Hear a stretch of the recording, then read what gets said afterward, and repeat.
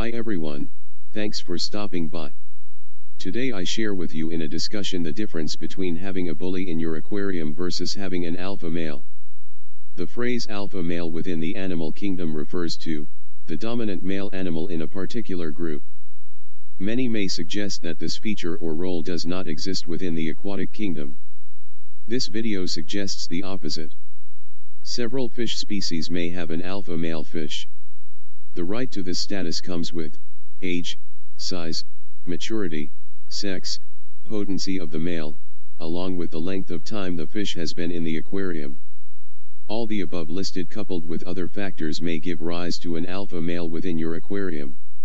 Male swordtails, mollies, guppies, betta fish along with several varied cichlid species along with shell-dwelling cichlids are peculiar to this feature. Interestingly however, an alpha male fish usually practices a polygamous relationship type. This mean, they have several ladies under their control. The alpha male fish manages the female's movement, in most cases, the alpha fish may fight to stave off competition. I have a batch of Jack Dempsey cichlid. Although they practice the changing of partners, seldomly, they are grouped along the line of having an alpha male. The strongest and largest male Jack Dempsey gets the girls and demand to eat first during feeding. To many this is a sign of bullying. Bullying within your fish space to me is different. A fish regarded as a bully respect no other fish. It fights without a cause and in many cases its fight goes beyond the submission of the other fish. In many cases a fish that is regarded as a bully fight to the death. This behavior is common in fish species which practices monogamous relationships. Although there have been cases where this may exist against polygamous type fish. The primary reason for this behavior is the incorrect stocking ratio.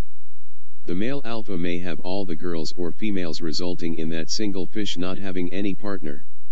Other factors such as selfishness. The fish bully may become too accustomed to be alone in the aquarium whenever a new fish is added it just get mad and fight. In circumstance like this moving your fish to a different tank days before new fish arrive may do the trick.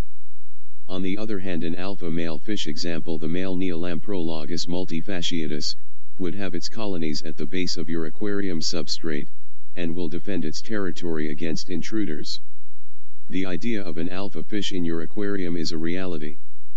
As fish keepers, we have become hyped about the bully, giving fish which practice the alpha male behavior limited space to own and live properly.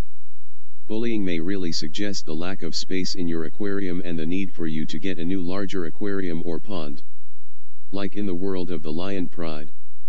An alpha male is constantly challenged by younger and stronger fish species. Every male fish species wants the girls to be by its side and the freedom to roam as it wishes throughout the aquarium. Share in the comment section below your